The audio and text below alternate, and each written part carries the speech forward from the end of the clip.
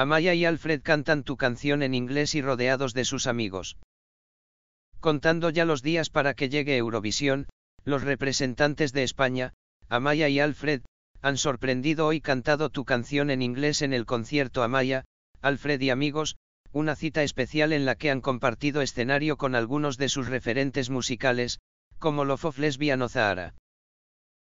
Tampoco han faltado a este concierto homenaje, emitido a través de la web de RTV, algunos de los compañeros de la Academia de Operación Triunfo de la joven pareja, como Roy, Ricky, Nerea, Mimi o Talía.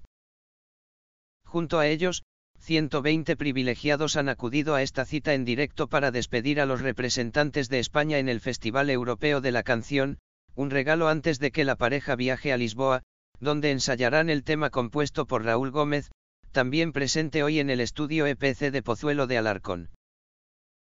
Frente al orgulloso compositor, y convirtiendo almohadilla a Alfred amigos en Trending Topic en Twitter, Amaya y Alfred han interpretado por primera vez tu canción en inglés, a pesar de que la defenderán en castellano en la capital portuguesa el 12 de mayo. A ver si no nos equivocamos y nos pasamos al español, ha bromeado, con su ya característica naturalidad, Amaya, que ha recibido después de tu canción el disco de oro por este tema junto a su compañero, Alfred. Aunque este ha sido el cierre de una íntima cita que han iniciado en el escenario Love of Lesbian cantando junto a los dos triunfitos la canción Incendios de Nieve, para más tarde interpretar por tercera vez en la historia del grupo otro tema, Fantastic Shine, esta vez solo con Alfred en el escenario. Judith Nederman ha tomado el relevo para cantar en catalán, a tres voces con Amaya y Alfred, Mireia, un tema que unió a los dos jóvenes en la gala cero del reality que les encumbró como jóvenes promesas de la música, según ha recordado Amaya. Ritmos de jazz han seguido en el pequeño y circular escenario del estudio EPC con el cubano Mel Semé, que, guitarra en mano, ha alternado el inglés y el castellano acompañado de Alfred, quien no ha dudado en dar muestra de su preparación musical tocando la trompeta. Zahara, fiel seguidora de Operación Triunfo y fan confesa de Amaya, ha interpretado en solitario Olor a mandarinas y más tarde ha compartido con Amaya los versos de la emotiva Con las ganas, un tema que la ganadora del concurso defendió junto con Aitana, segunda clasificada de OT, en la gala 4.